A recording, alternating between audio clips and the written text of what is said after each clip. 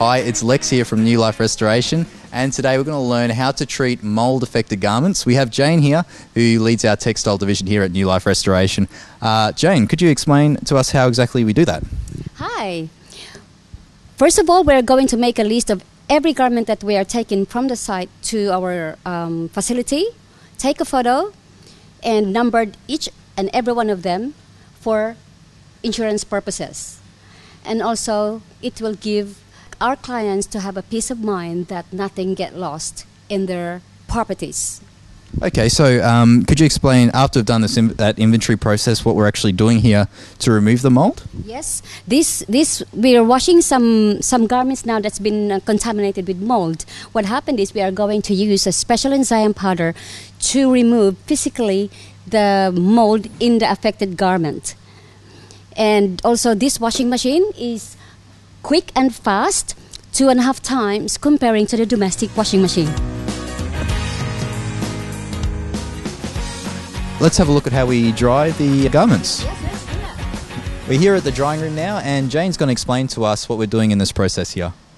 Hello, Lex. Yes, after we wash our clothing from the washing machine, we will take them here in our drying room facility.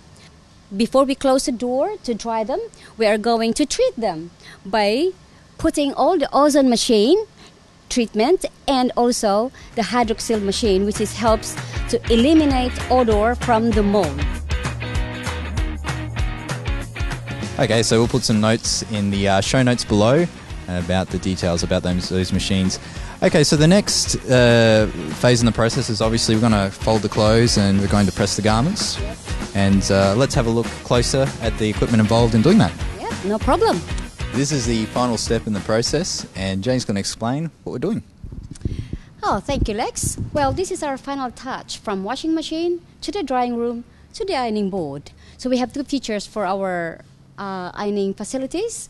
So we have the number one feature is our ironing board is heated, so you can only iron it. On the, you only iron it on the top. You don't need to iron the bottom part. Now number two is a suction features. Now suction features is very very special because it will hold it will hold your garment and place it in the ironing board, and um, also it will absorb the uh, moisture from the ironing board and um, because of the uh, suction part of it it will dry the surface quickly and you can be faster. And after that because this is the uh, commercial industrial grade iron it will uh, make your ironing faster and quicker. Thank you. Oh fantastic.